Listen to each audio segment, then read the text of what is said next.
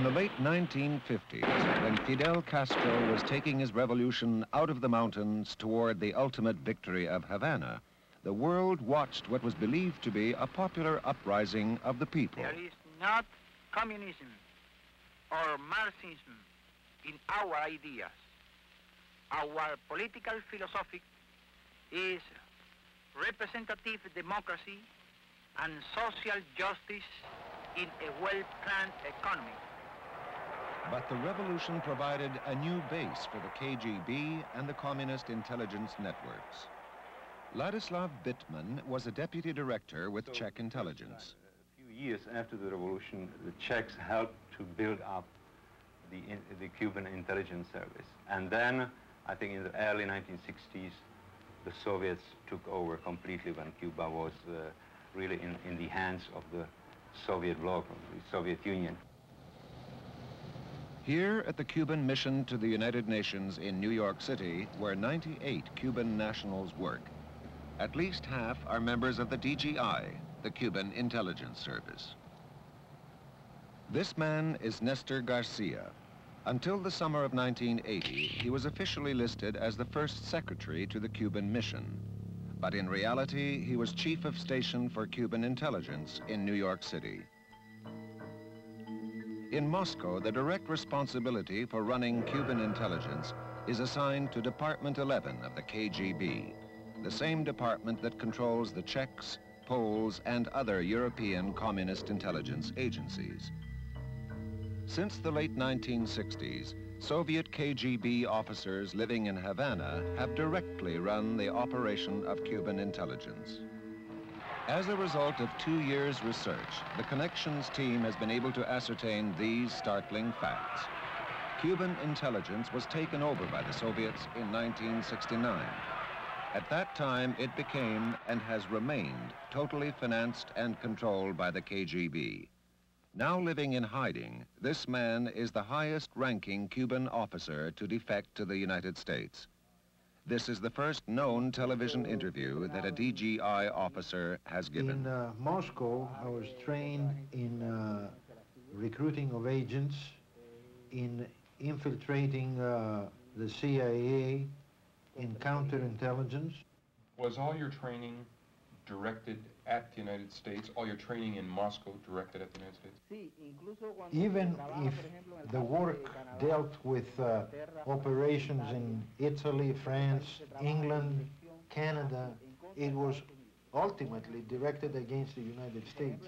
In the case of a plan of sabotage against an American embassy, the physical layout of the plant had to be known. Was there any other installations than embassies that were looked at for sabotage? Sí, todas las grandes compañías. All the uh, big uh, American companies. Since the late 1960s, General Semenov of the KGB has controlled the DGI from Havana for the Soviets. Sí, el, el soviético definitivamente, Simonov. es- General Simonov, the Soviet chief, would be the one who would give the order. So the Russians controlled Cuban intelligence, actually controlled? Totally and absolutely. The second most important base of Cuban intelligence in North America is the Cuban consulate in Montreal. From here and other Cuban diplomatic missions, the DGI conducts intelligence and espionage operations through a spy network designed to increase the KGB's penetration of North American life.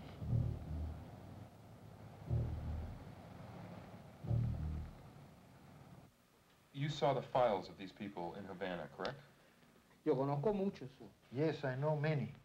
Were they working, for instance, trying to get defense secrets from America? Definitivamente. Yes, definitely so. What else? ¿Qué otra cosa? Eh, información política. Political information, econ- economic information, leftist movements in the United States, on the blacks, Información sobre las plantas de industrial plants of the United States, like uh, power plants and so on and so forth. Why would they be interested in power plants? This information is necessary to the Soviets. This former DGI officer was shown the official list of the 12 Cubans stationed in Washington at the Cuban interest section. How many on that list do you know as being in intelligence? Cuatro, Decía- Four. There are four on that list. Pero Certainly, certainly. Have you ever heard of a Mr. Ricardo Escartin? sí, es oficial de inteligencia. He's an intelligence officer. How about Mr. Juan Carbonell?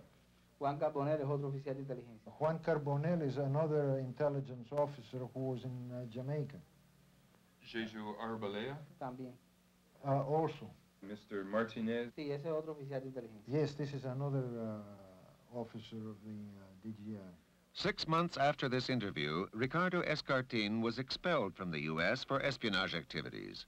But the other DGI officers, Carbonell, Arboleya, and Martinez, are still operating in Washington.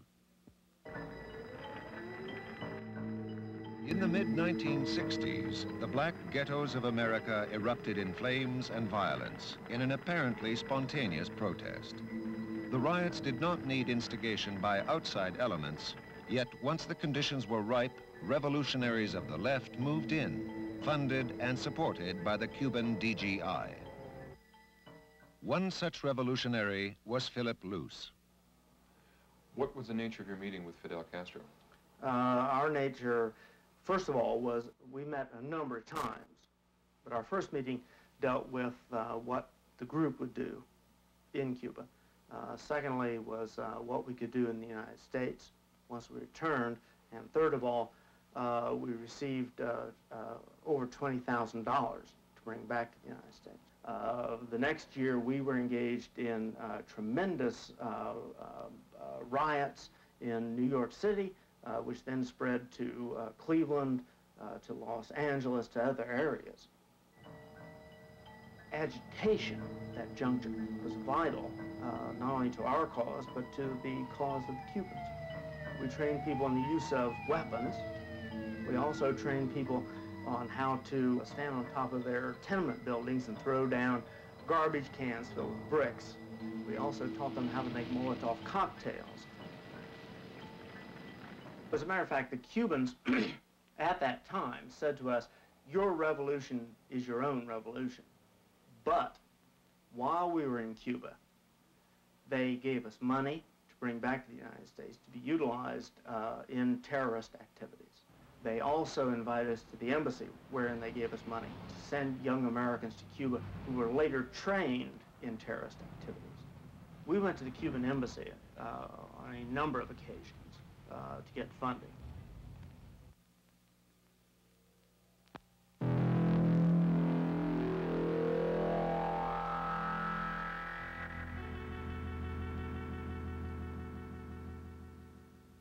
We said that we understand who the enemy is and that we're going to attack. In the 1960s, Bernardine Dohrn was one of the leaders of the violent radical group known as the Weathermen. On December 3, 1980, in Chicago, Bernardine Dohrn surrendered after 10 years in hiding. With her was another weatherman, Bill Ayers, with whom she had been living. They held a press conference and stated their continued commitment to radical change. Resistance by every means necessary is happening and will continue to happen within the United States as well as around the world.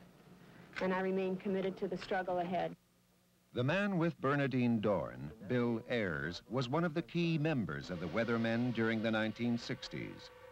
A man who knew Ayers well during those years was Larry Grathwohl, a former member of the Weather Underground, which had developed close ties with the Cubans.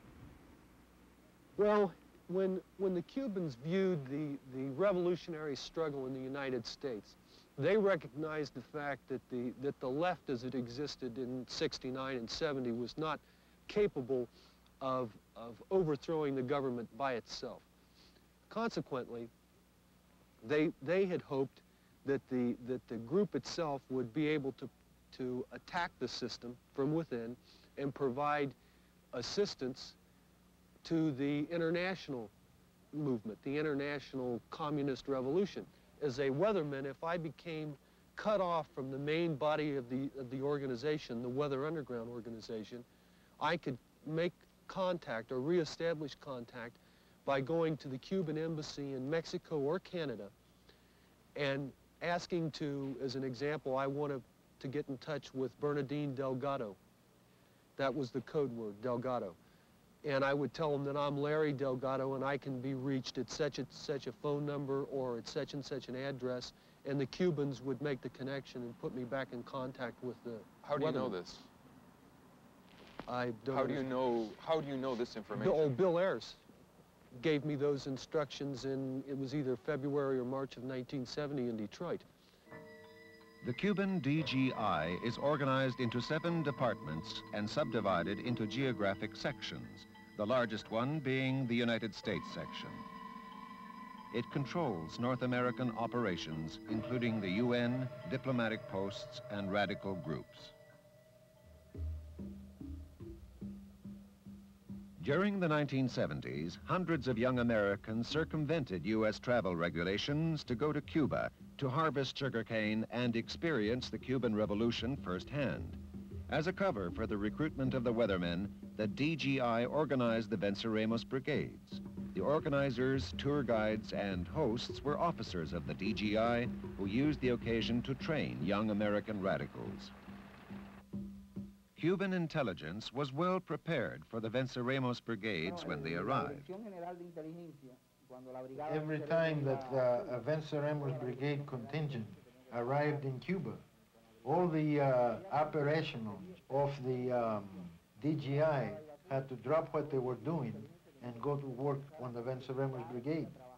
We had to investigate, collect background to see who could be recruited, what information could be obtained, Do you know of young Americans who were recruited in the brigade to work for the Cuban intelligence who came back to America and were secretly working for the Cubans? Sí, están trabajando. Yes, and they are still working. Still working for Yeah. the Cubans in America? Sí, definitivamente. Yes, definitely. The brigade was established with the sole purpose of providing a cover for the weathermen to get their people to Cuba for training. And that that's why it existed. As a matter of fact, when our people came back off the 1st Venceremos Brigade, in I think it was February of 1970, the criticism that the uh, Cubans had made about the Venceremos Brigade indicated that the majority of people being sent there they felt were useless. They really weren't helping them harvest sugarcane. But that it was justified in the sense that here was a means to train and politicize weathermen contacts and weathermen. Cuba somehow had the ability to uh, uh, bring out in young people at that time uh, the feeling of, of communism with a uh, mambo beat, or uh, somehow that uh, what was happening in Cuba was totally different than what was happening anyplace else in the world. Se presentan los soviéticos desde el año This was the main reason of the interest showed by the Russians in trying to control the DGI because the Cubans could work far more easily than the Soviets. Weren't the weather people aware that they were being used by the Soviets in some No. way? No, they, they view the Cubans as being the vanguard of the international communist revolution. Now, the vanguard essentially means that the Cubans are at the very tip of the spear. They're the leadership. Um, the Russians are being used by the Cubans. Now, this is the Weatherman's rationalization of this, this interaction between the Soviets and the Cubans. The Cubans said, you've got to become active. You've got to start doing things. And planning a national action to protest the beginning of the Chicago 8 trial and to commemorate the, the, the riots during the, the Democratic National Convention of 68 uh, and to protest the war in Vietnam is not action. Action requires that you confront the system violently. So when the Weathermen got back from Cuba, they changed the national action to the Days of Rage. The Days of Rage in October 1969 was an attack on the city of Chicago and its police department. For four days, anti-war protesters, urged on by agitators of the Weathermen, rioted in the streets, engaging in violent confrontations and pitched battles with the police.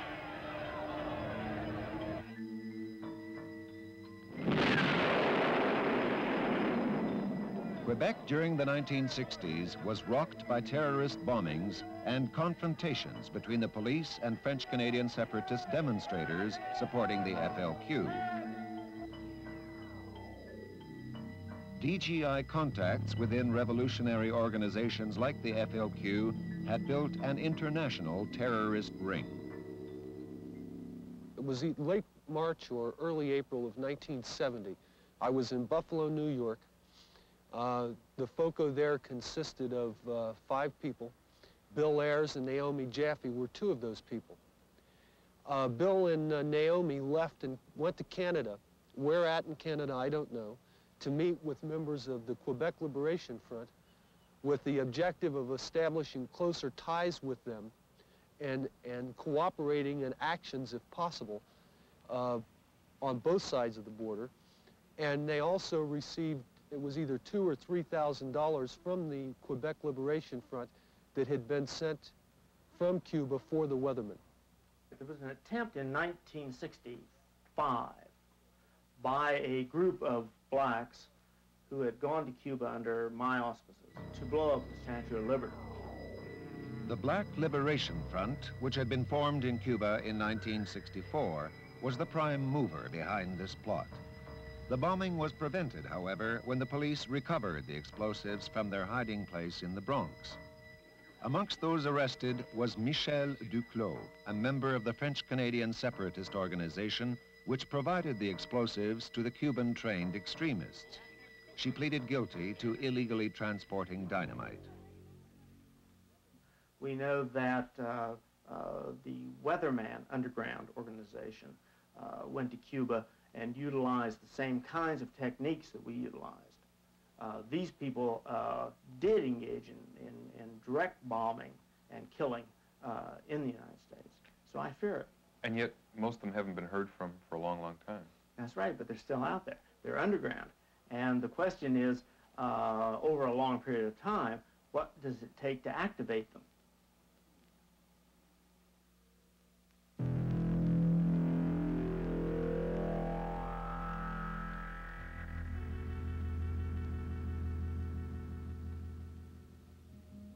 In the 1950s, an obscure, unassuming photographer lived alone in Brooklyn, operating his business from a storefront. Rudolf Abel attracted little attention until it was revealed he headed a Soviet spy ring operating in America. He was caught and sentenced to 30 years in prison. Do you feel that you received a fair trial? I would refer that question to my attorney, Mr. Donnelly. Our American system of trial by jury is the fairest system in the world. In the world of espionage, Abel was known as an illegal, a spy who lives under an assumed name and is controlled by Department S of the KGB. It is Department S that selects the agents who quietly blend into the societies of other nations and lead seemingly normal lives while secretly carrying out orders passed to them from Moscow.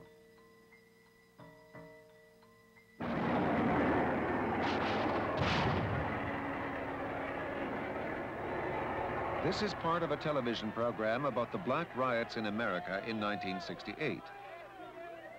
It was produced by the Canadian Broadcasting Corporation.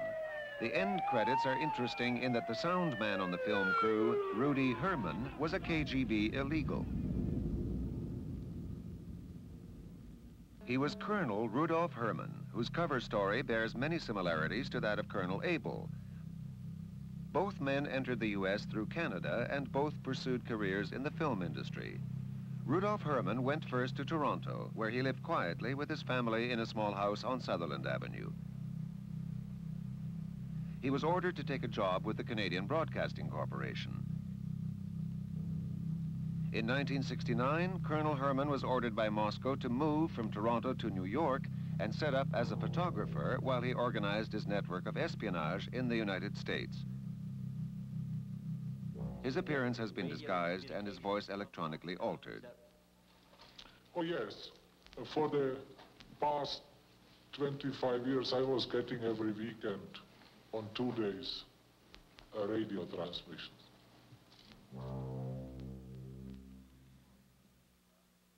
When Herman was finally caught by the FBI, Richard Kinsey was deputy chief of the Soviet desk at FBI headquarters in Washington. He had been sent on meetings, had he, or had been sent to Yes. meet people in Canada for one thing, had he not? Yes, he had. Do you know anything about why he was sent up to Canada? I'd prefer not to go into uh, to that. Colonel Herman traveled to Quebec City where he went to Laval University and met with a Canadian economics professor named Hugh Hambleton. Hello, are you Professor Hambleton? Uh, yes, I am, yeah. Hugh Hambleton is a specialist in petroleum economics.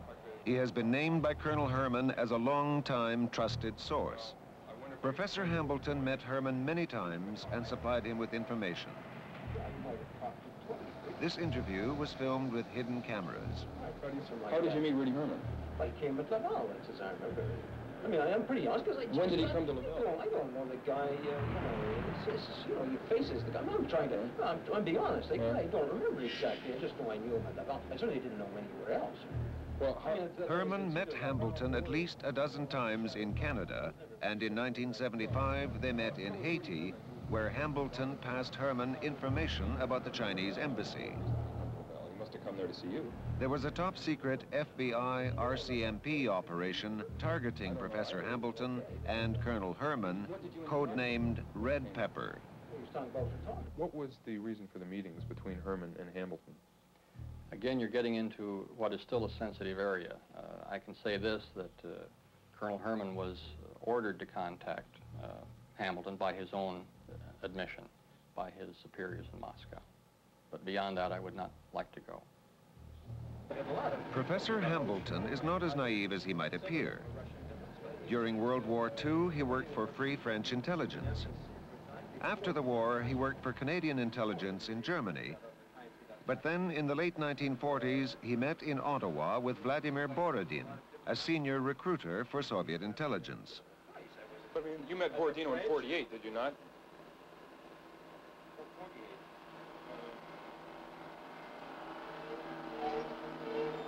Maybe it's possible. I guess so. So he From came up New York. 1956 to 1961, Hambleton had top secret security clearance when he worked for NATO in Paris. Some parts of Professor Hambleton has also made two trips to Cuba. He met with a leading Cuban intelligence officer, Ricardo Escartin, who has recently been expelled from the United States for espionage activities. In 1975, he made a trip to Moscow. How come you went to the Soviet Union then? But you didn't go to the Soviet Union at all? I mean, what information? Later, he confessed to making a 10 to 12 day trip to the Soviet Union in 1975, where, in his own words, he was under considerable pressure from the KGB. Subsequently, the RCMP raided Hambleton's Ottawa residence and seized a shortwave radio and code books. Professor Hambleton was just one of Colonel Herman's contacts. Herman has provided the FBI with significant leads on Soviet agents operating in North America. His espionage activities were of the utmost importance. My job was, would be without any importance. I would definitely not spend such a long time in the United States.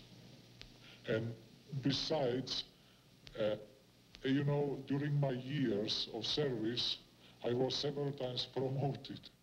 Now Colonel Herman is somewhere in hiding in the United States, an illegal who came to the surface. Kaarlo Tuomi is another example of an illegal sent to America by Moscow. You were known as an illegal. What exactly is an illegal? Illegal is a foreign agent who enters the country with forged documents and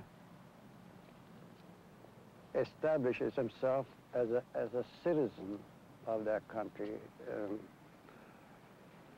little by little acquires all the documentation, the driver's license, uh, uh, birth certificates, credit cards, and so, and so on, finds a job, uh, gets all the credentials and all the background, uh, future references as a bona fide citizen of that country. For instance, in this case... That's what happened to you, right?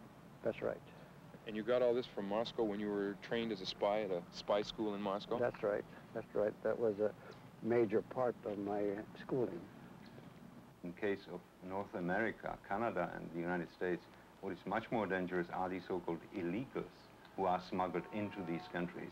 That is, people who are who come here under a new identity, and they they live as citizens of these countries, and they would start operating really in, in case of war between the Soviet Union and the United States, for example, or in, in, in the time of major, of, of a very serious crisis when, for example, the diplomatic relations would be broken.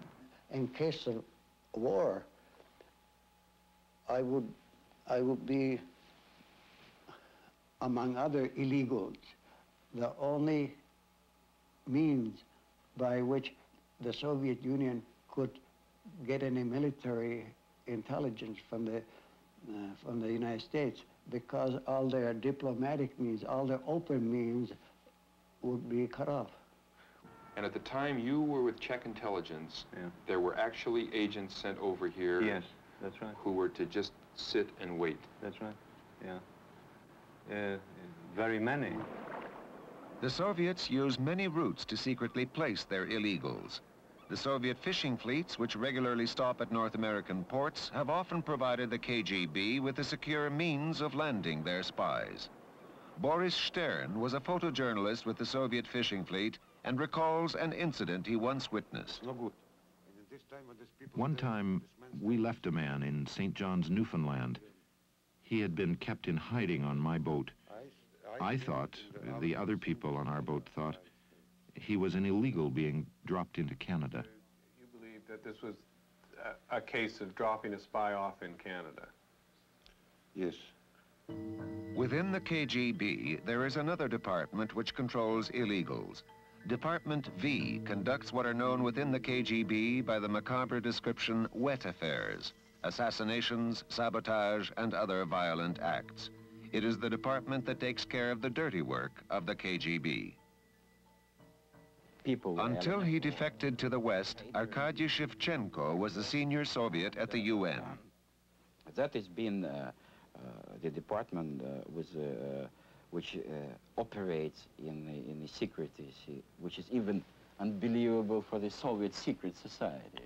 Have All you ever known of, are Have you ever known of any Department V people in North America? Yes, it was in New York, in the Soviet mission in New York in the in the middle of the 60s, and uh, uh, the one of my friends who happened also to be uh, working with the KGB, he told me, look, you know, he look, he, this man looks so quiet, calm, and even respectable as someone. If, if you look at him, you would never believe that he really, what he is really doing, and to what branch or to what department of the KGB he himself belonged. That is the most sinister thing in the world, which he is doing. This man was a member of Department V. He was trained in Moscow and sent to Canada, where explosives had already been hidden for his use. Well, then fine, let's do an interview. I mean, okay, well... He refused to be interviewed. After months of work, the Norfolk Investigative Unit traced him to a small town where he now lives in hiding. I mean, you were in the KGB and you were sent over here to North America to engage in espionage acts, and you decided for one reason or another not to go through with this. And, uh, however... Sobotka was sent to Edmonton in Western Canada, where he spent four years working and acquiring all the credentials of a normal Canadian citizen. In 1965, the call came from Moscow. He was ordered to go to a Toronto suburb and observe a house and its occupants. The house was at the time inhabited by one of the most famous defectors of all, Igor Gouzenko, who fled the Soviet embassy in 1945. His defection led to the uncovering of Soviet spy rings in North America and was a severe setback for Soviet espionage. Twenty years after it occurred, Department V of the KGB was still sending its agents looking for him. If he comes so close, my life, of course, was very, very... And if I open door, incidentally, I never open door. never open door in my house. So possibly went to the wrong house? I don't know, really don't know. So he could be my come in the wrong house or something, but I never myself opened door. Where we think Sobotka had been activated by KGB agent Oleg Komenko, who at the time was working as a counselor at the Soviet embassy in Ottawa and was traveling with the Russian Moiseyev Ballet on a North American tour. Strategically placed in Western Canada, Sobotka was ordered to plan, in the event of war, the destruction of the key refining and pumping stations that supply much of North America with its energy.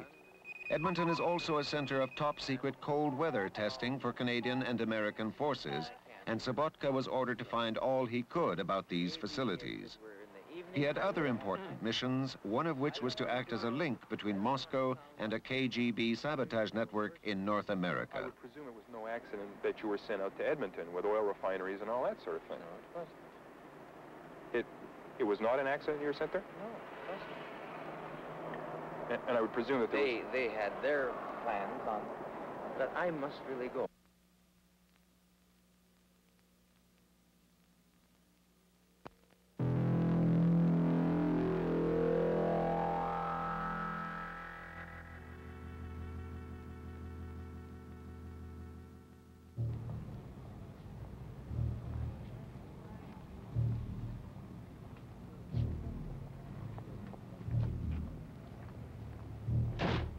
This house off Massachusetts Avenue in Washington, D.C. is an office of the Soviet military attaches. Some of these men have legitimate business there. However, most military attaches in reality are spies of the GRU, operating closely with the KGB. Working under the Ministry of Defense, the GRU specifically confines its activities to espionage in military matters.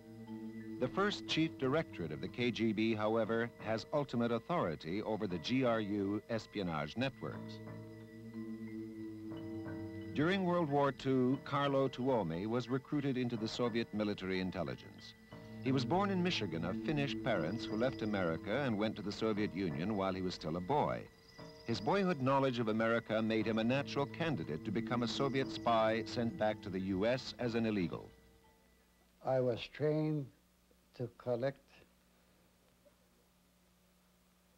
military information about the United States Armed Forces with special emphasis on, on naval affairs and shipment of arms, uh, locations of uh, um docks and warehouses, specifically in the harbor of New York, where these arms were being stored and handled and from where they being shipped to foreign countries. In other words, you were a spy. That's true. I studied the, the United States in general, the geography, economy, government, armed forces. The woman who was uh, my English instructor had been born in Brooklyn, was a graduate of Columbia University, had an excellent command of uh, modern American English. What about uh, the American culture? I mean, how were you trained so that you would feel at home in America once you got there from Moscow? Well, uh, the basic way of getting me into touch with American reality and culture was by showing American movies. From movies, you can learn quite a bit how people behave, how they dress, how they talk. And so that's a very important way to train an agent who is to operate in that particular country.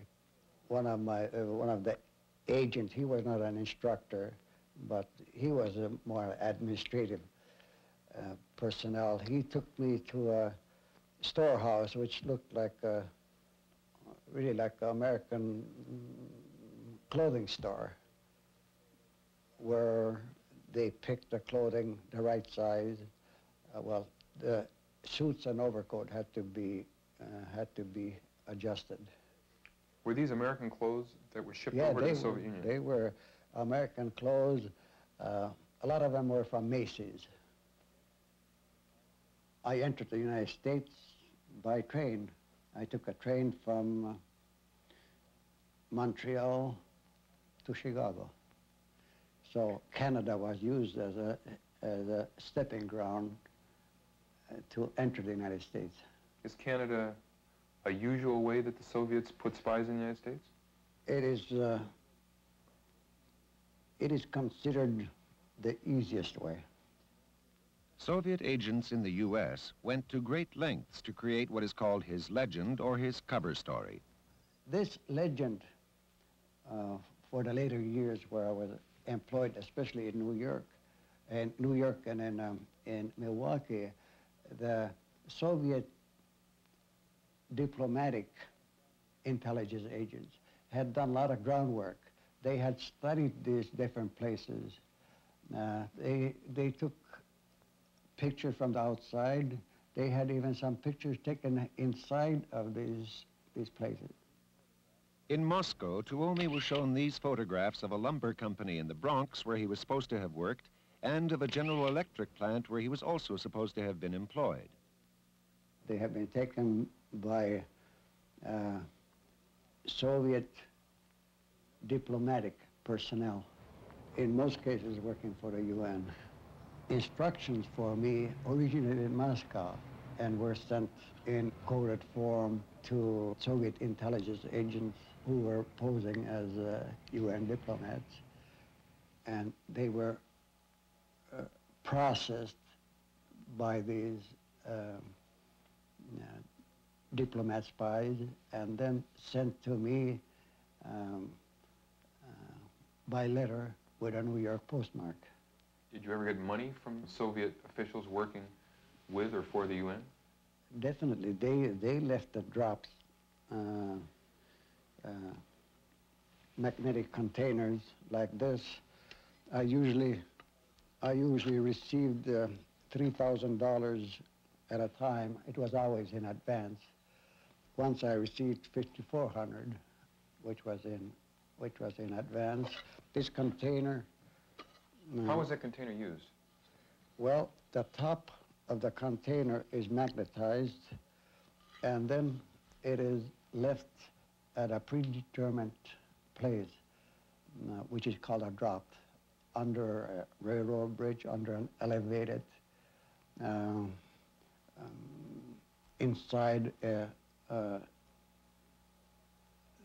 support of a bridge or something, and it was never lost. This was a very reliable gadget.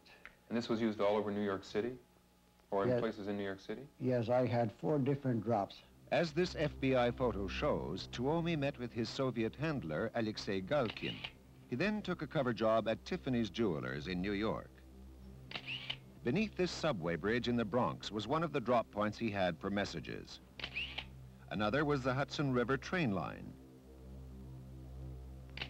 Another was under this railroad bridge in Queens at 69th Street. Another on this telephone pole in Yonkers. Once he was well established, Tuomi was ordered to take a job where he could carry out surveillance of the docks at the port of New York. Eventually, he was caught by the FBI and became a double agent. When you were caught by the FBI, did you try to signal your Soviet handlers at the UN or in Moscow that you had been caught? Not immediately because I, I couldn't. It was in my mind, but I, I couldn't do it immediately. I did send the, a signal to the center, which is Soviet intelligence, uh, military intelligence headquarters in Moscow. I sent a signal uh, three months after I had been caught by the FBI. How did you send the signal? What means? I, I sent the signal by inserting it in a, a message which I wrote under, under the control of the FBI. But I got away from the FBI agents for a few minutes uh, to write that message. using the, uh, using the washroom. And was this a hidden writing technique that you used? Yes, I, uh, I had uh, an extra sheet of uh, uh, chemically treated paper, which was used for secret writing, and I used that in, in the washroom. There was an internal struggle inside of me. I was torn apart. apart. I was pro-Soviet. I believed in a Soviet system. And here I was working for the FBI, the enemy of my country. I, I just couldn't live with the idea of, uh, of uh, betraying the Soviet Union. Are you still pro-Soviet? Oh, definitely not. So what changed you? I don't understand how you've changed or why you've changed. That's a, that's a very long process, uh, something that doesn't happen overnight. This is the KGB Blue Book, where Tuomi is listed under his Soviet name. In it, he is named as an enemy of the fatherland. But even a spy caught and turned finds it difficult to be parted from his country. Because of the family. Your I- family that you had over in the Soviet Yes, Union. I, uh, I had a wife and I had three children. Otherwise, uh, coming to, back to the United States, that's, that's the greatest thing that ever happened to me. Have you ever heard from your former wife or your children? No, I haven't heard from them since 1963. The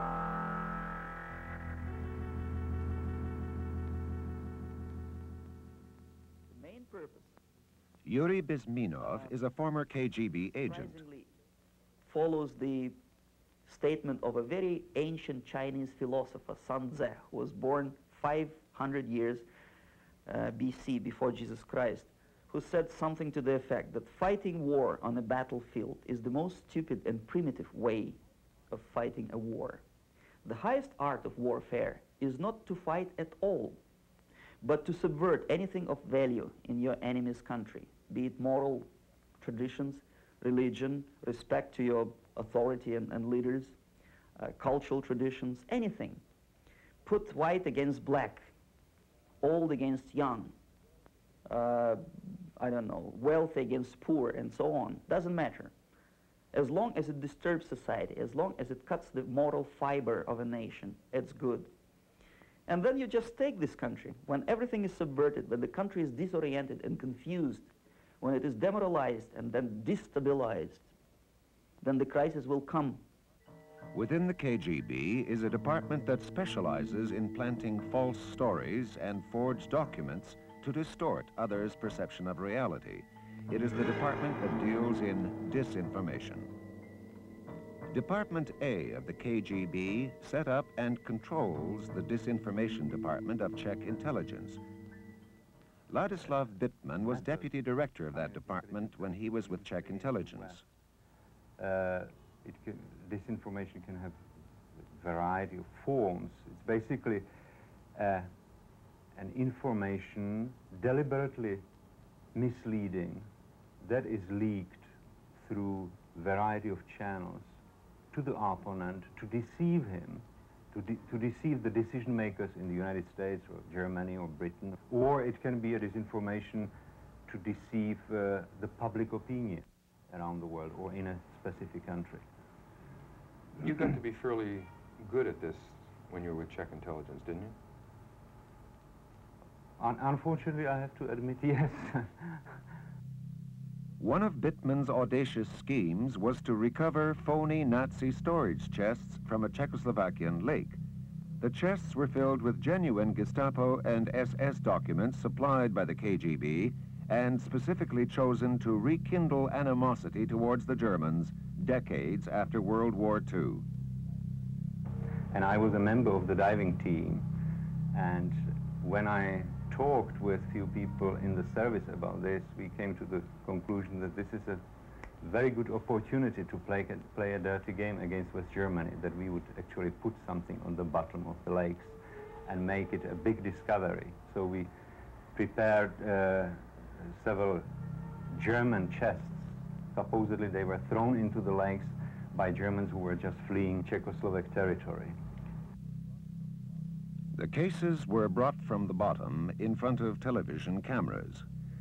The documents were then displayed in an elaborate press conference aimed at weakening the solidarity of the NATO allies. It was quite successful in Italy, in France, in Austria. The press of these countries published them, and basically the tone was anti-German. Look what these German bastards did to us during the war. And, made, and there are so many who are still living in Germany. Who are the major targets of the disinformation campaign that you were waging? I understand there was two or three major yeah. targets. Well, uh, the target number one is, of course, the United States. Uh, it is called the enemy number one, or the main enemy. It's always plane. used in that word. That is the official term for the United States. Then the second major target was the NATO alliance. And the goal was, the objective was to work t- toward the dissolution of NATO with the hope that after some few years, the, the, the, the tension within the organization would reach such a uh, stage, such a level that NATO would stop existing. NATO was formed in post-war Europe as a political and military alliance against the Soviets. But its most effective opposition now comes not from Soviet armies, but from Soviet disinformation, which continually attempts to turn one NATO ally against another. Each one of these papers appears to be a leaked U.S. government document, but they're all forgeries designed to sow dissension within NATO. This document made damaging remarks supposedly from former President Carter about both Greece and Turkey. This is a phony intelligence report on European left-wingers. This is a forged NATO document claiming to devise ways of getting support for the neutron bomb.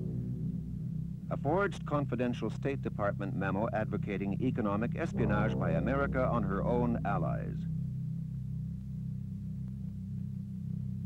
Many forgeries have been directed against Anwar Sadat, a confidential U.S. memo claiming his time is up, or false reports on former Vice President Mondale's remarks that neither Sadat nor Begin are viable leaders.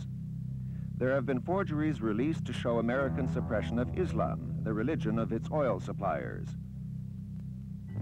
Yet perhaps the most successful Soviet disinformation attack was on the KGB's main competition, the CIA. It began with an agreement in the mid-60s between the East German and Czech intelligence services. The two disinformation departments, again under the supervision of the Soviets, decided to start a long-term operation against the CIA, making uh, li life as hard as possible for CIA. That is to, to uh, label many American diplomats, politicians, cultural representatives abroad as CIA agents and paralyze their positions.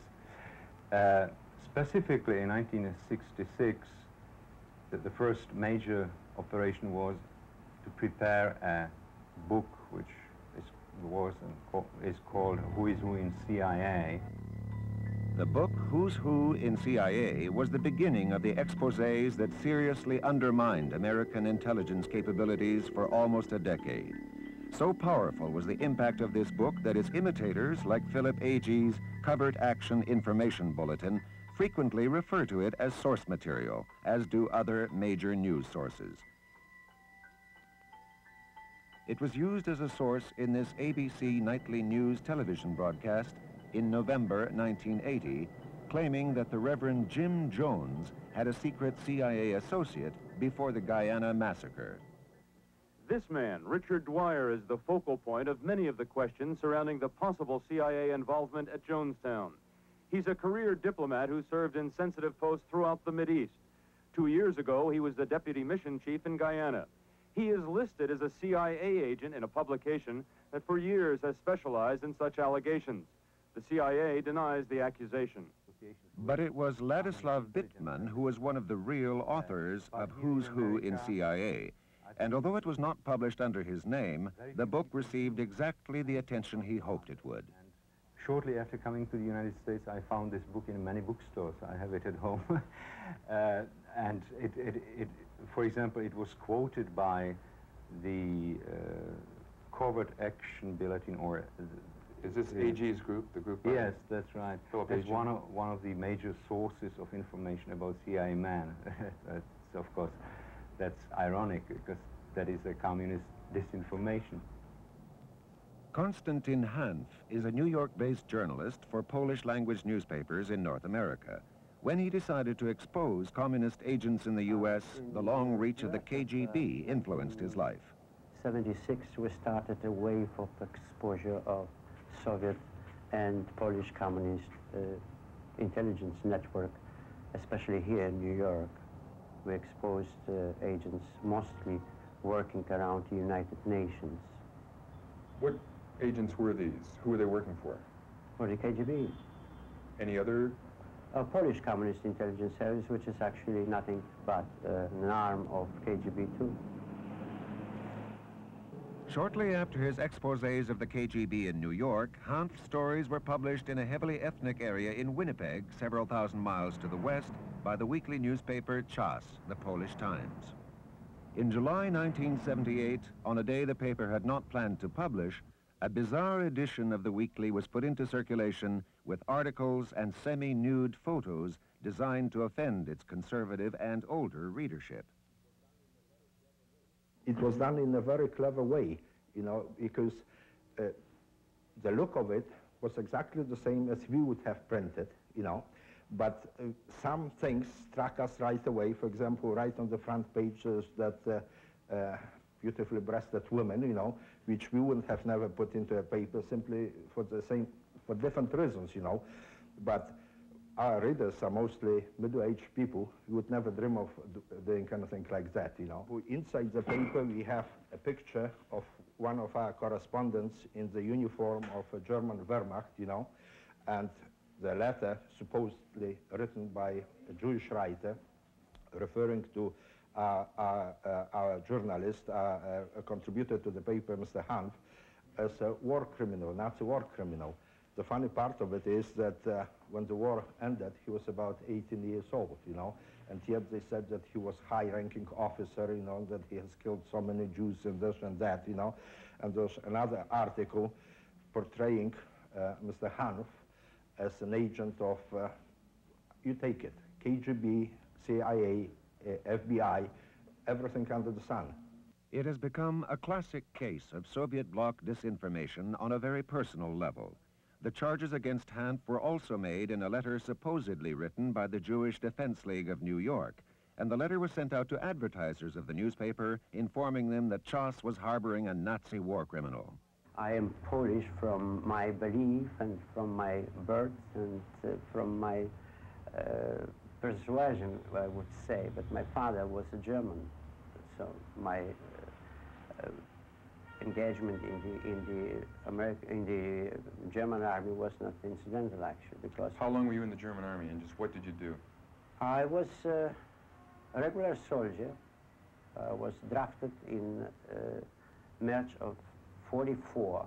March 1944? Yes, when I was 17 and a half of age. And in February of, seven, of 45, I was uh, captured by the Soviets. The accusing letter was revealed to be a forgery when the real Jewish Defense League examined this and declared it had not been written on their stationery, and also that they had never accused Mr. Hanf of any war crimes.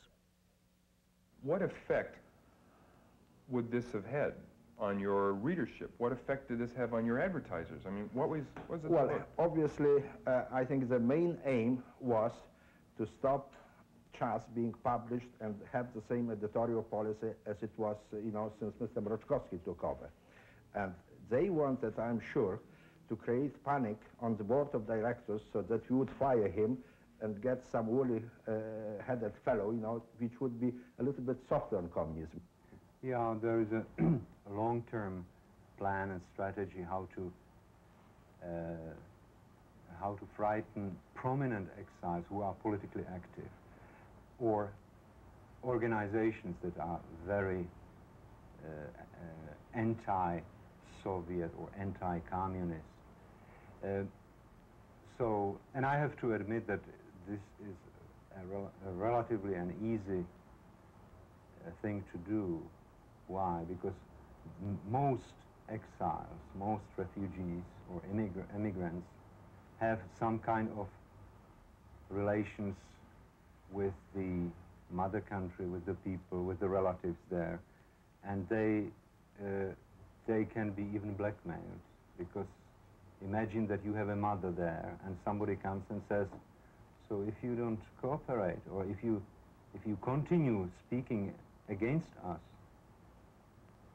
your mother will have a very tough life, my dear friend.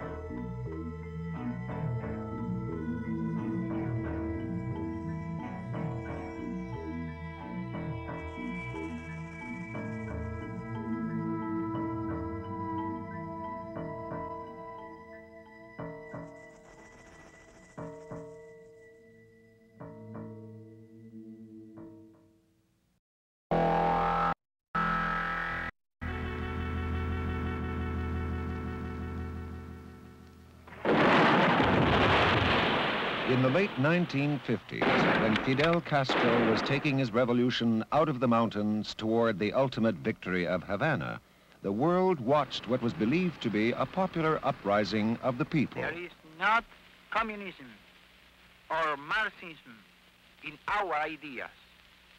Our political philosophy is representative democracy and social justice in a well-planned economy. But the revolution provided a new base for the KGB and the communist intelligence networks. Ladislav Bittman was a deputy director with So, Czech intelligence. A few years after the revolution, the Czechs helped to build up the, the Cuban intelligence service. And then, I think in the early 1960s, the Soviets took over completely when Cuba was uh, really in, in the hands of the Soviet bloc, the Soviet Union. Here at the Cuban mission to the United Nations in New York City, where 98 Cuban nationals work, at least half are members of the DGI, the Cuban Intelligence Service. This man is Nestor Garcia. Until the summer of 1980, he was officially listed as the first secretary to the Cuban mission. But in reality, he was chief of station for Cuban intelligence in New York City. In Moscow, the direct responsibility for running Cuban intelligence is assigned to Department 11 of the KGB, the same department that controls the Czechs, Poles, and other European communist intelligence agencies. Since the late 1960s, Soviet KGB officers living in Havana have directly run the operation of Cuban intelligence. As a result of two years' research, the Connections team has been able to ascertain these startling facts. Cuban intelligence was taken over by the Soviets in 1969. At that time, it became and has remained totally financed and controlled by the KGB. Now living in hiding, this man is the highest ranking Cuban officer to defect to the United States. This is the first known television interview that a DGI officer has given. In uh, Moscow, I was trained in uh, recruiting of agents, in infiltrating uh, the CIA, in counterintelligence. Was all your training directed at the United States? All your training in Moscow directed at the United States? Even if the work dealt with uh, operations in Italy, France, England, Canada, it was ultimately directed against the United States. In the case of a plan of sabotage against an American embassy, the physical layout of the plant had to be known. Was there any other installations than embassies that were looked at for sabotage? Sí, todas las grandes compañías. All the uh, big uh, American companies. Since the late 1960s, General Semenov of the KGB has controlled the DGI from Havana for the Soviets. Sí, el, el soviético definitivamente, Simonov. es- General Simonov, the Soviet chief, would be the one who would give the order.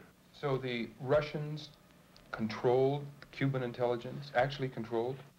Totally and absolutely. The second most important base of Cuban intelligence in North America is the Cuban consulate in Montreal. From here and other Cuban diplomatic missions, the DGI conducts intelligence and espionage operations through a spy network designed to increase the KGB's penetration of North American life.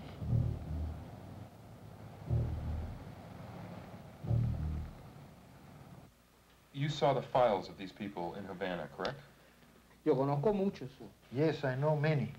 Were they working, for instance, trying to get defense secrets from America? Definitivamente. Yes, definitely so. What else? ¿Qué otra cosa? Eh, información política. Political information, información, econ economic information, movimientos de liberación. leftist movements in the United States, on the blacks, Información sobre las plantas de... industrial plants of the United States, like uh, power plants and so on and so forth. Why would they be interested in power plants? This information is necessary to the Soviets. This former DGI officer was shown the official list of the 12 Cubans stationed in Washington at the Cuban Interest Section. How many on that list do you know as being in intelligence? Cuatro. Yes, Four. There are four on that list. Pero los demás- Certainly, certainly. Have you ever heard of a Mr. Ricardo Escartin? Sí, es oficial de inteligencia. He's an intelligence officer. How about Mr. Juan Carbonell? Juan Carbonell es otro oficial de inteligencia. Juan Carbonell is another intelligence officer who was in uh, Jamaica. Jesús Arboleya? También. Uh, also, Mr. Martinez? Sí, ese es otro oficial de inteligencia. yes, this is another uh, officer of the uh, DGI. Six months after this interview, Ricardo Escartin was expelled from the U.S. for espionage activities. But the other DGI officers, Carbonell, Arboleya, and Martinez, are still operating in Washington. In the mid-1960s, the black ghettos of America erupted in flames and violence in an apparently spontaneous protest. The riots did not need instigation by outside elements, yet once the conditions were ripe, revolutionaries of the left moved in, funded and supported by the Cuban DGI. One such revolutionary was Philip Luce. What was the nature of your meeting with Fidel Castro? Uh, our nature, first of all, was we met a number of times, but our first meeting dealt with uh, what the group would do in Cuba. Uh, secondly was uh, what we could do in the United States once we returned. And third of all, uh, we received uh, over $20,000 to bring back to the United States. The next year, we were engaged in tremendous uh, riots in New York City, uh, which then spread to uh, Cleveland, uh, to Los Angeles, to other areas. Agitation at that juncture was vital, uh, not only to our cause, but to the cause of the Cubans. We trained people in the use of weapons. We also trained people on how to stand on top of their tenement buildings and throw down garbage cans filled with bricks. We also taught them how to make Molotov cocktails. As a matter of fact, the Cubans at that time said to us, your revolution is your own revolution. But while we were in Cuba, they gave us money to bring back to the United States to be utilized uh, in terrorist activities. They also invited us to the embassy, wherein they gave us money to send young Americans to Cuba who were later trained in terrorist activities. We went to the Cuban embassy uh, on a number of occasions uh, to get funding.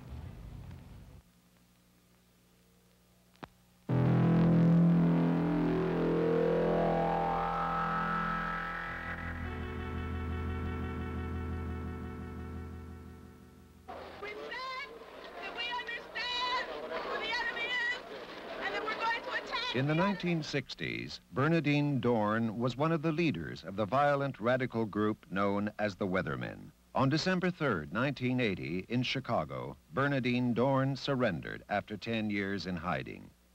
With her was another weatherman, Bill Ayers, with whom she had been living. They held a press conference and stated their continued commitment to radical change. Resistance by every means necessary is happening and will continue to happen within the United States as well as around the world. And I remain committed to the struggle ahead. The man with Bernardine Dohrn, Bill Ayers, was one of the key members of the Weathermen during the 1960s. A man who knew Ayers well during those years was Larry Grathwohl, a former member of the Weather Underground, which had developed close ties with the Cubans. Well, when, when the Cubans viewed the, the revolutionary struggle in the United States, they recognized the fact that the, that the left as it existed in 69 and 70 was not capable of, of overthrowing the government by itself. Consequently, they, they had hoped that the, that the group itself would be able to, to attack the system from within and provide assistance to the international movement, the international communist revolution. As a weatherman, if I became cut off from the main body of the, of the organization, the Weather Underground organization, I could make contact or reestablish contact by going to the Cuban embassy in Mexico or Canada and asking to, as an example, I want to, to get in touch with Bernardine Delgado. That was the code word, Delgado and I would tell them that I'm Larry Delgado and I can be reached at such and such a phone number or at such and such an address, and the Cubans would make the connection and put me back in contact with the How do you know this? I don't How do you know, how do you know this information? Oh, Bill Ayers gave me those instructions in, it was either February or March of 1970 in Detroit. The Cuban DGI is organized into seven departments and subdivided into geographic sections the largest one being the United States section. It controls North American operations, including the UN, diplomatic posts, and radical groups. During the 1970s, hundreds of young Americans circumvented U.S. travel regulations to go to Cuba to harvest sugarcane and experience the Cuban Revolution firsthand. As a cover for the recruitment of the weathermen, the DGI organized the Venceremos Brigades. The organizers, tour guides, and hosts were officers of the DGI who used the occasion to train young American radicals. Cuban intelligence was well prepared for the Venceremos Brigades when they arrived. Every time that uh, a Venceremos Brigade contingent arrived in Cuba, all the uh, operational of the um, DGI had to drop what they were doing and go to work on the Venceremos Brigade. We had to investigate, collect background to see who could be recruited, what information could be obtained. Do you know of young Americans who were recruited in the brigade to work for the Cuban intelligence who came back to America and were secretly working for the Cubans? Sí, y están trabajando. Yes, and they are still working. Still working for Yeah. the Cubans in America? Sí, definitivamente. Yes, definitely. The brigade was established with the sole purpose of providing a cover for the weathermen to get their people to Cuba for training. And that that's why it existed. As a matter of fact, when our people came back off the 1st Venceremos Brigade, in, in I think it was February of 1970, the criticism that the uh, Cubans had made about the Venceremos Brigade indicated that the majority of people being sent there they felt were useless. They really weren't helping them harvest sugarcane. But that it was justified in the sense that here was a means to train and politicize weathermen contacts and weathermen. Cuba somehow had the ability to uh, uh, bring out in young people at that time uh, the feeling of, of communism with a uh, mambo beat, or uh, somehow that uh, what was happening in Cuba was totally different than what was happening anyplace else in the world. Se presentan los soviéticos desde el año- This was the main reason of the interest showed by the Russians in trying to control the DGI because the Cubans could work far more easily than the Soviets. Weren't the weather people aware that they were being used by the Soviets in some no. way? No, they, they view the Cubans as being the vanguard of the international communist revolution. Now, the vanguard essentially means that the Cubans are at the very tip of the spear. They're the leadership. Um, the Russians are being used by the Cubans. Now, this is the Weatherman's rationalization of this, this interaction between the Soviets and the Cubans. The Cubans said, you've got to become active. You've got to start doing things. And planning a national action to protest the beginning of the Chicago 8 trial and to commemorate the, the, the riots during the, the, Democratic National Convention of 68 uh, and to protest the war in Vietnam is not action. Action requires that you confront the system violently. So when the Weathermen got back from Cuba, they changed the national action to the Days of Rage.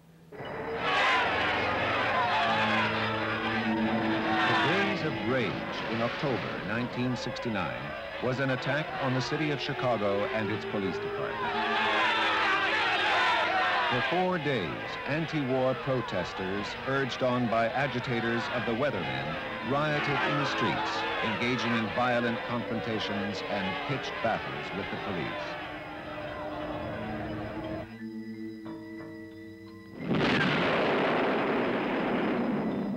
Quebec during the 1960s was rocked by terrorist bombings and confrontations between the police and French-Canadian separatist demonstrators supporting the FLQ. DGI contacts within revolutionary organizations like the FLQ had built an international terrorist ring. It was late March or early April of 1970. I was in Buffalo, New York, uh, the FOCO there consisted of uh, five people. Bill Ayers and Naomi Jaffe were two of those people. Uh, Bill and uh, Naomi left and went to Canada. Where at in Canada, I don't know, to meet with members of the Quebec Liberation Front with the objective of establishing closer ties with them and, and cooperating in actions, if possible, uh, on both sides of the border. And they also received it was either two or three thousand dollars from the Quebec Liberation Front that had been sent from Cuba for the Weathermen. There was an attempt in 1965 by a group of blacks who had gone to Cuba under my auspices to blow up the Statue of Liberty. The Black Liberation Front, which had been formed in Cuba in 1964, was the prime mover behind this plot. The bombing was prevented, however, when the police recovered the explosives from their hiding place in the Bronx. Amongst those arrested was Michelle Duclos, a member of the French-Canadian separatist organization which provided the explosives to the Cuban-trained extremists. She pleaded guilty to illegally transporting dynamite. We know that uh, uh, the Weatherman Underground organization uh, went to Cuba and utilized the same kinds of techniques that we utilized. Uh, these people uh, did engage in, in, in, direct bombing and killing uh, in the United States. So I fear it. And yet, most of them haven't been heard from for a long, long time. That's right, but they're still out there. They're underground. And the question is, uh, over a long period of time, what does it take to activate them?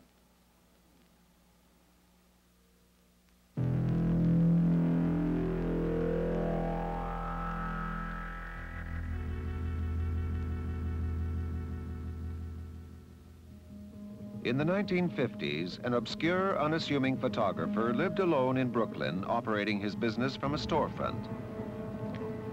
Rudolf Abel attracted little attention until it was revealed he headed a Soviet spy ring operating in America. He was caught and sentenced to 30 years in prison. Do you feel that you received a fair trial? I would refer that question to my attorney, Mr. Donnelly. Our American system of trial by jury is the fairest system in the world. In the world of espionage, Abel was known as an illegal, a spy who lives under an assumed name and is controlled by Department S of the KGB.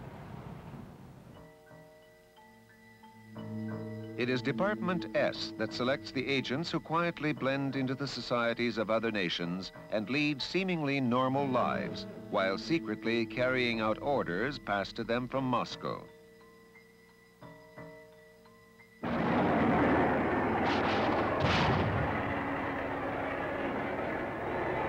This is part of a television program about the black riots in America in 1968. It was produced by the Canadian Broadcasting Corporation. The end credits are interesting in that the sound man on the film crew, Rudy Herman, was a KGB illegal. He was Colonel Rudolf Herman, whose cover story bears many similarities to that of Colonel Abel. Both men entered the U.S. through Canada and both pursued careers in the film industry. Rudolf Herman went first to Toronto, where he lived quietly with his family in a small house on Sutherland Avenue. He was ordered to take a job with the Canadian Broadcasting Corporation. In 1969, Colonel Herman was ordered by Moscow to move from Toronto to New York and set up as a photographer while he organized his network of espionage in the United States. His appearance has been disguised and his voice electronically altered. Oh, yes. For the past 25 years, I was getting every weekend on two days a radio transmission.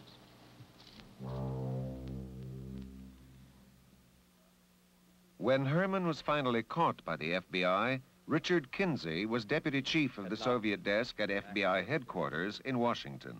He had been sent on meetings, had he, or had been sent to Yes. meet people in Canada, for one thing, had he not? Yes, he had. Do you know anything about why he was sent up to Canada? I'd prefer not to go into uh, to that.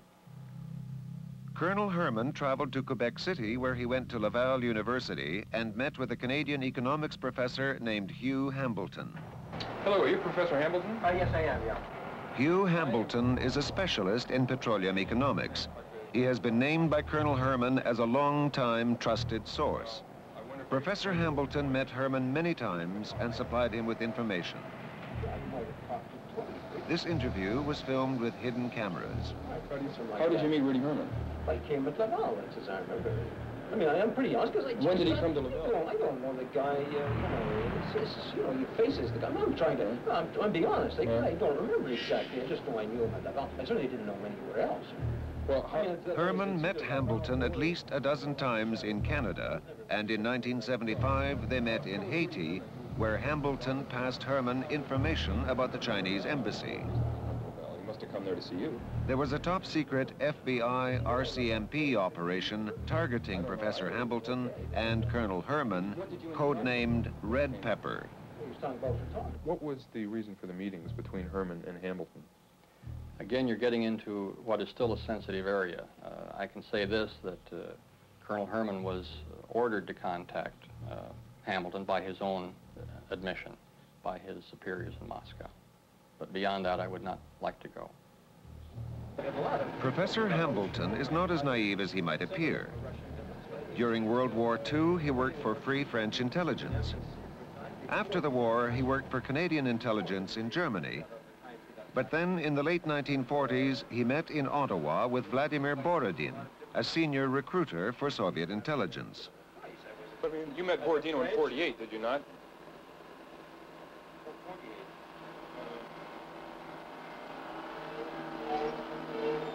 Maybe, it's possible. I guess so. From 1956 to 1961, Hambleton had top secret security clearance when he worked for NATO in Paris. Professor Hambleton has also made two trips to Cuba. He met with a leading Cuban intelligence officer, Ricardo Escartin, who has recently been expelled from the United States for espionage activities. In 1975, he made a trip to Moscow. How come you went to the Soviet Union then? But you didn't go to the Soviet Union at all? Soviet Union, You, what information... Later, he confessed to making a 10 to 12 day trip to the Soviet Union in 1975, where, in his own words, he was under considerable pressure from the KGB. Subsequently, the RCMP raided Hambleton's Ottawa residence and seized a shortwave radio and code books. Professor Hambleton was just one of Colonel Herman's contacts. Herman has provided the FBI with significant leads on Soviet agents operating in North America. His espionage activities were of the utmost importance. My job was, would be without any importance. I would definitely not spend such a long time in the United States. And besides, uh, you know, during my years of service, I was several times promoted. Now Colonel Herman is somewhere in hiding in the United States, an illegal who came to the surface. Kaarlo Tuomi is another example of an illegal sent to America by Moscow. You were known as an illegal. What exactly is an illegal? Illegal is a foreign agent who enters the country with forged documents and establishes himself as a, as a citizen of that country. Um, little by little acquires all the documentation, the driver's license, uh, birth certificates, credit cards, and so, and so on, finds a job, uh, gets all the credentials and all the background, uh, future references as a bona fide citizen of that country. For instance, in this case... That's what happened to you, right? That's right. And you got all this from Moscow when you were trained as a spy at a spy school in Moscow? That's right. That's right. That was a major part of my schooling. In case of North America, Canada, and the United States, what is much more dangerous are the so-called illegals who are smuggled into these countries. That is, people who are, who come here under a new identity, and they they live as citizens of these countries, and they would start operating really in, in case of war between the Soviet Union and the United States, for example, or in, in, in the time of major, of, of a very serious crisis when, for example, the diplomatic relations would be broken. In case of war, I would, I would be, among other illegals, the only means by which the Soviet Union could get any military intelligence from the, uh, from the United States because all their diplomatic means, all their open means would be cut off. And at the time you were with Czech intelligence, yeah. there were actually agents sent over here. Yes, that's right. Who were to just sit and wait. That's right, yeah. Uh, very many. The Soviets use many routes to secretly place their illegals. The Soviet fishing fleets, which regularly stop at North American ports, have often provided the KGB with a secure means of landing their spies. Boris Stern was a photojournalist with the Soviet fishing fleet and recalls an incident he once witnessed. One time, we left a man in St. John's, Newfoundland. He had been kept in hiding on my boat. I thought, the other people on our boat thought, he was an illegal being dropped into Canada. You believe that this was a, a case of dropping a spy off in Canada? Yes. Within the KGB, there is another department which controls illegals. Department V conducts what are known within the KGB by the macabre description wet affairs, assassinations, sabotage, and other violent acts. It is the department that takes care of the dirty work of the KGB. People Until he defected to the West, Arkady Shevchenko was a senior Soviet at the UN. That has been uh, uh, the department uh, with, uh, which uh, operates in the, in the secrecy, which is even unbelievable for the Soviet secret society. Have All you ever known operations of, are Have you ever so known of any Department V people in North America? Yes, it was in New York, in the Soviet mission in New York in the, in the middle of the 60s.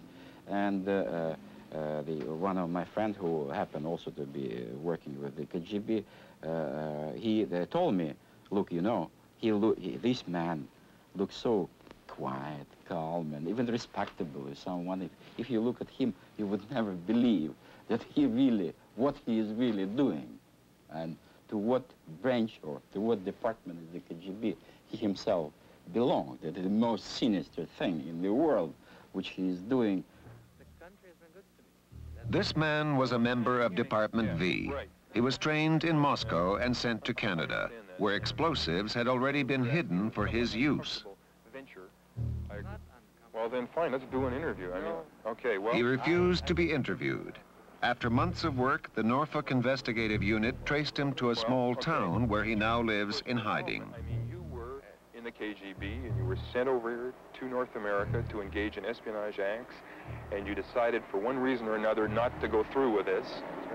And, uh, however... Sobotka was sent to Edmonton in Western Canada, where he spent four years working and acquiring all the credentials of a normal Canadian citizen.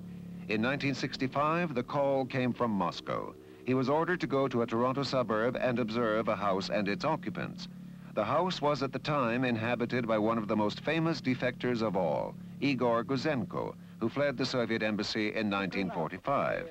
His defection led to the uncovering of Soviet spy rings in North America and was a severe setback for Soviet espionage. Twenty years after it occurred, Department V of the KGB was still sending its agents looking for him. If he comes so close, my life, of course, was very, very... And if I open door, incidentally, I never open door. Never open door in my house. So possibly went to the wrong house?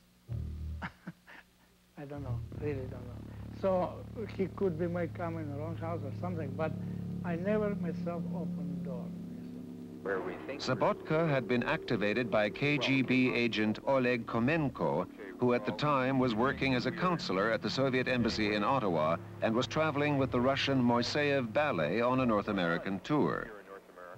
Strategically placed in Western Canada, Sobotka was ordered to plan, in the event of war, the destruction of the key refining and pumping stations that supply much of North America with its energy. Edmonton is also a center of top-secret cold weather testing for Canadian and American forces, and Sobotka was ordered to find all he could about these facilities. He had other important missions, one of which was to act as a link between Moscow and a KGB sabotage network in North America. I would presume it was no accident that you were sent out to Edmonton with oil refineries and all that sort of thing. No, it wasn't. It, it was not an accident you were sent there? No, it wasn't. And, and I would presume that there They, was... they had their plans on that I must really go.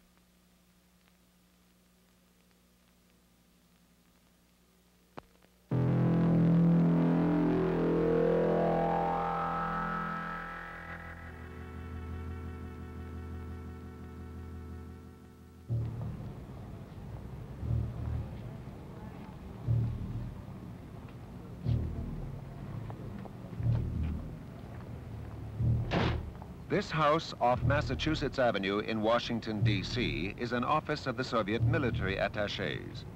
Some of these men have legitimate business there. However, most military attaches in reality are spies of the GRU, operating closely with the KGB.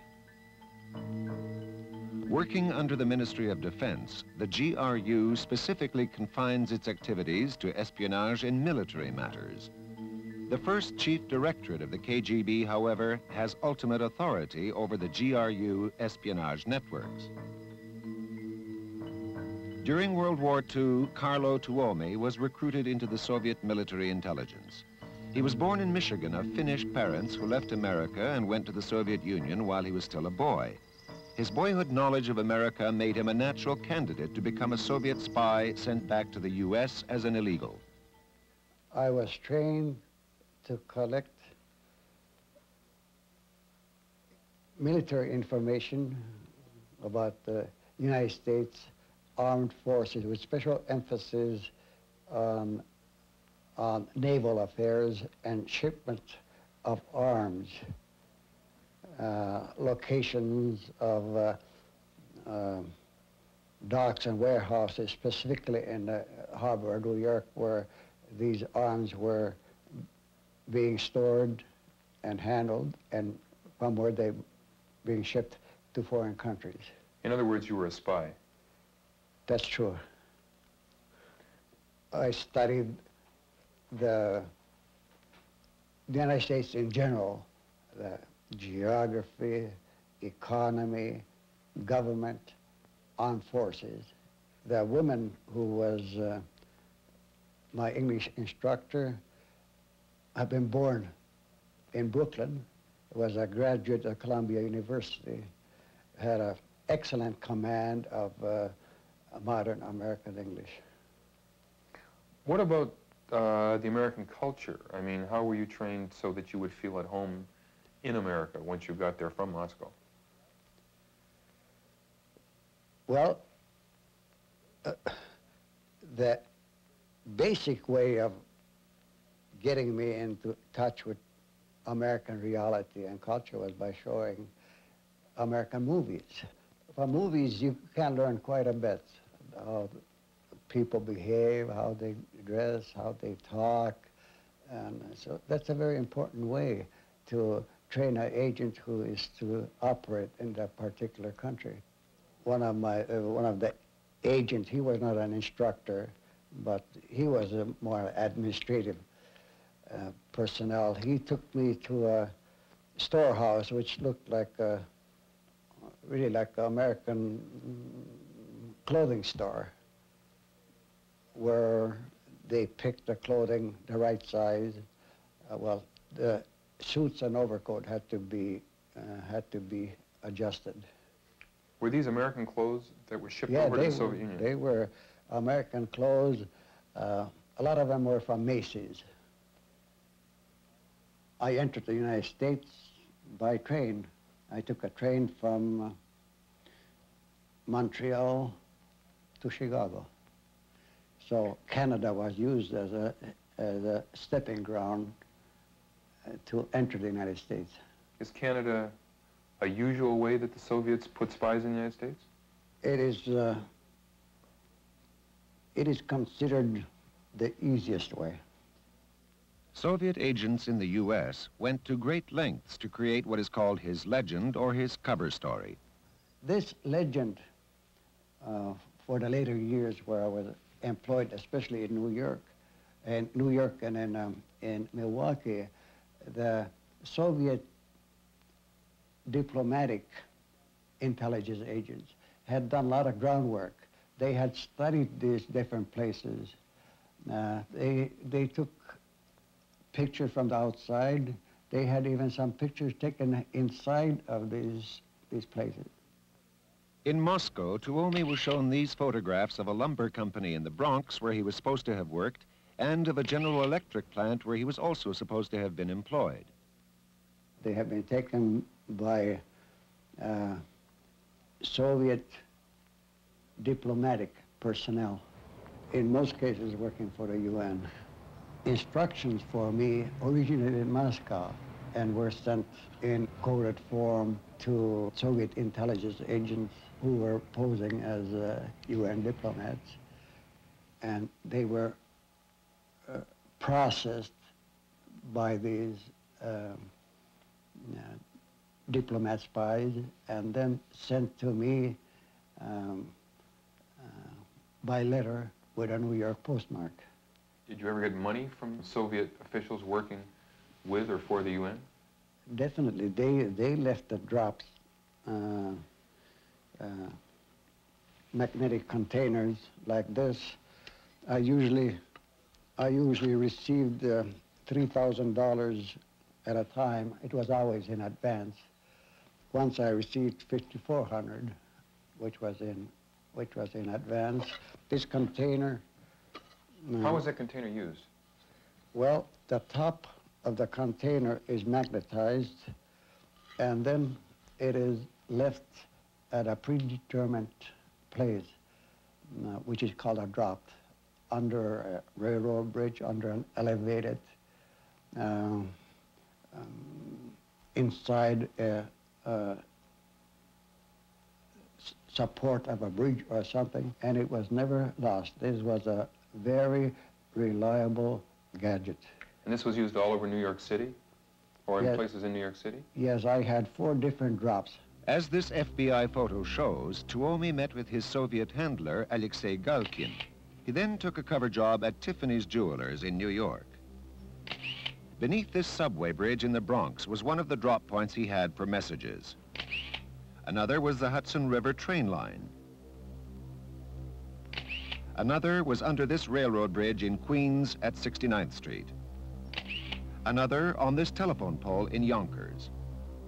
Once he was well established, Tuomi was ordered to take a job where he could carry out surveillance of the docks at the port of New York. Eventually, he was caught by the FBI and became a double agent. When you were caught by the FBI, did you try to signal your Soviet handlers at the UN or in Moscow that you had been caught? Not immediately because I, I couldn't. It was in my mind, but I, I couldn't do it immediately. I did send the, a signal to the center, which is Soviet intelligence, uh, military intelligence headquarters in Moscow. I sent a signal uh, three months after I had been caught by the FBI. How did you send the signal? What means?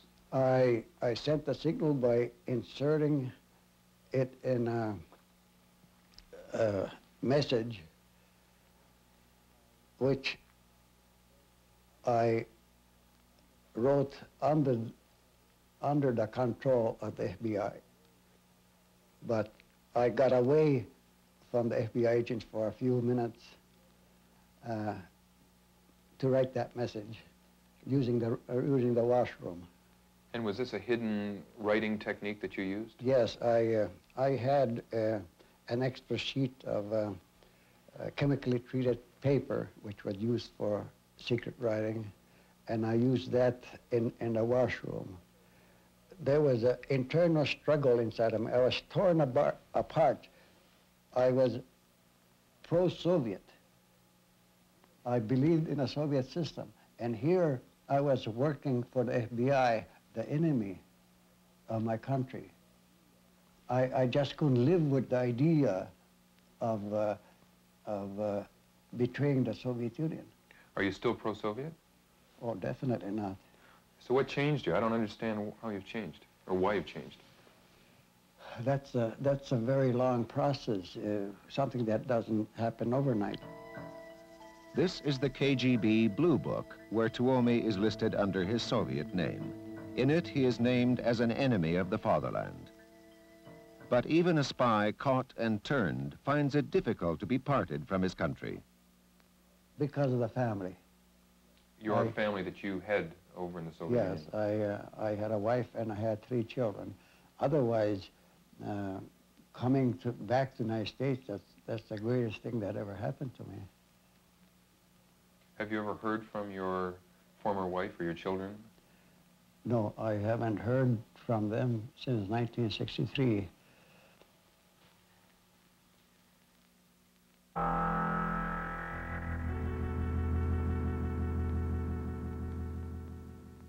main purpose Yuri Bezmenov is a former KGB agent. surprisingly follows the statement of a very ancient Chinese philosopher, Sun Tzu, who was born 500 years uh, BC, before Jesus Christ, who said something to the effect that fighting war on a battlefield is the most stupid and primitive way of fighting a war. The highest art of warfare is not to fight at all, but to subvert anything of value in your enemy's country, be it moral traditions, religion, respect to your authority and, and leaders, uh, cultural traditions, anything. Put white against black, old against young, uh, I don't know, wealthy against poor, and so on. Doesn't matter. As long as it disturbs society, as long as it cuts the moral fiber of a nation, it's good. And then you just take this country. When everything is subverted, when the country is disoriented and confused, when it is demoralized and then destabilized, then the crisis will come. Within the KGB is a department that specializes in planting false stories and forged documents to distort others' perception of reality. It is the department that deals in disinformation. Department A of the KGB set up and controls the disinformation department of Czech intelligence. Ladislav Bittman was deputy director of that department when he was with Czech intelligence. Uh, it can, disinformation can have a variety of forms. It's basically uh, an information deliberately misleading that is leaked through variety of channels to the opponent to deceive him, to, de to deceive the decision makers in the United States or Germany or Britain, or it can be a disinformation to deceive uh, the public opinion around the world or in a specific country. You got to be fairly good at this when you were with Czech intelligence, didn't you? Un unfortunately, I have to admit, yes. One of Bittman's audacious schemes was to recover phony Nazi storage chests from a Czechoslovakian lake. The chests were filled with genuine Gestapo and SS documents supplied by the KGB and specifically chosen to rekindle animosity towards the Germans decades after World War II.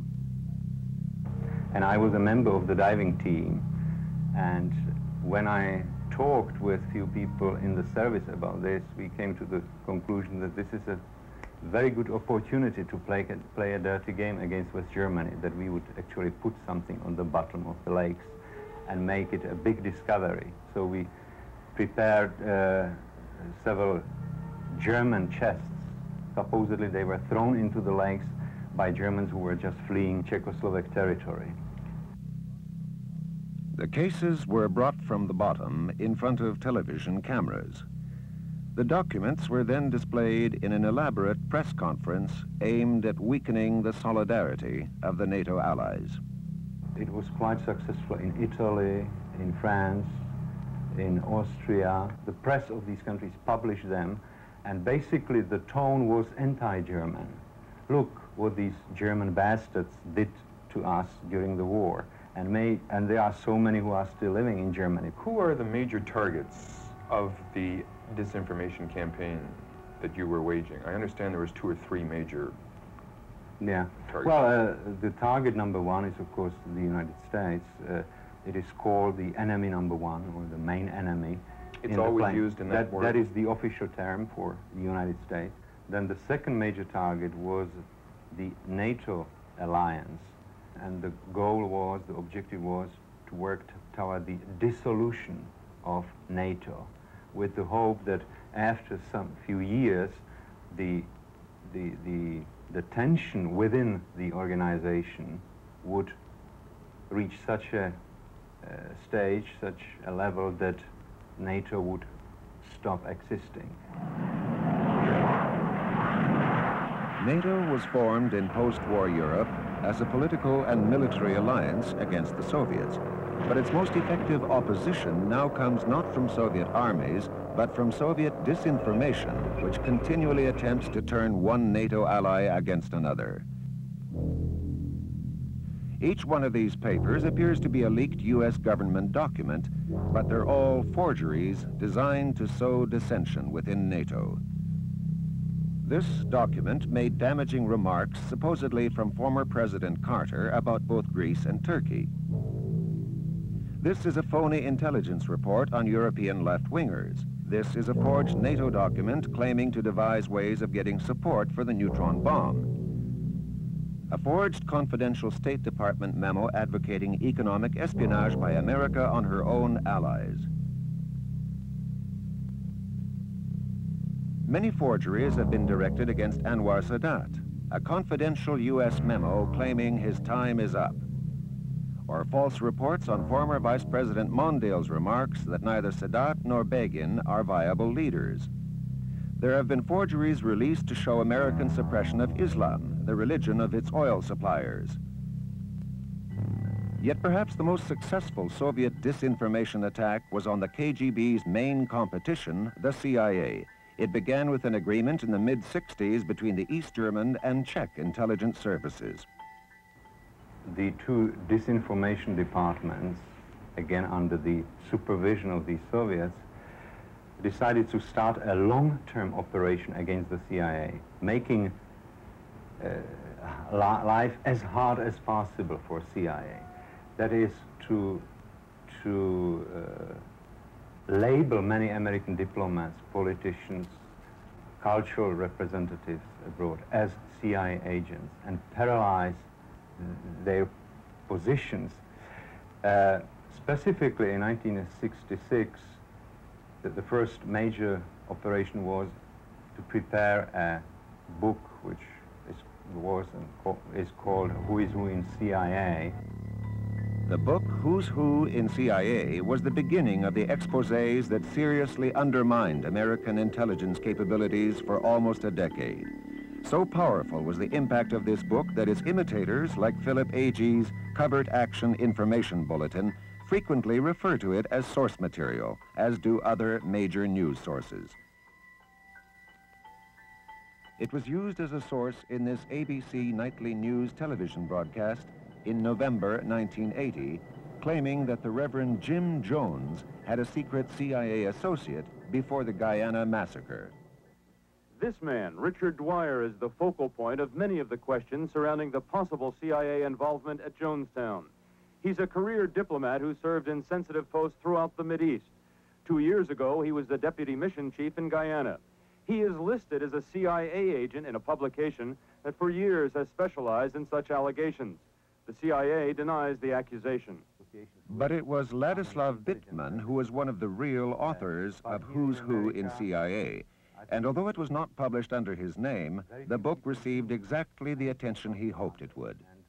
Shortly after coming to the United States, I found this book in many bookstores. I have it at home.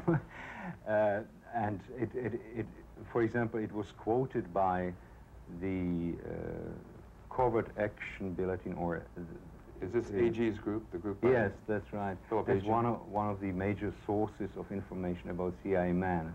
that's of course that's ironic because that is a communist disinformation.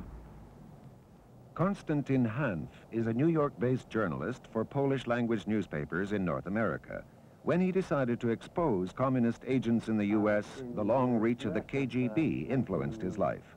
76, we started a wave of exposure of Soviet and Polish communist uh, intelligence network, especially here in New York we exposed uh, agents mostly working around the United Nations. What agents were these? Who were they working for? For the KGB. Any other? A Polish Communist Intelligence Service, which is actually nothing but uh, an arm of KGB too.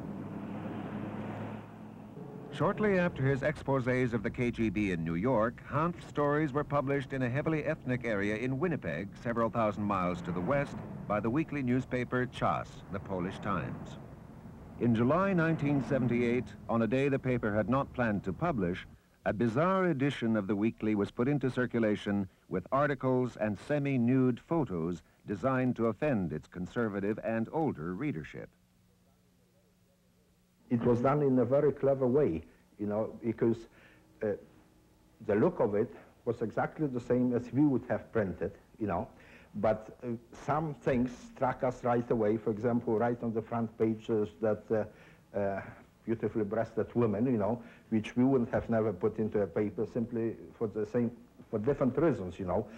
But our readers are mostly middle-aged people who would never dream of doing anything like that, you know. Inside the paper, we have a picture of one of our correspondents in the uniform of a German Wehrmacht, you know, and the letter, supposedly written by a Jewish writer, referring to our, our, journalist, a contributor to the paper, Mr. Hanf, as a war criminal, Nazi war criminal.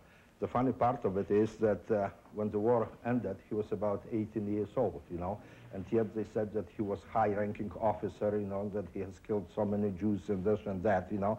And there's another article portraying uh, Mr. Hanf as an agent of, uh, you take it, KGB, CIA, FBI, everything under the sun.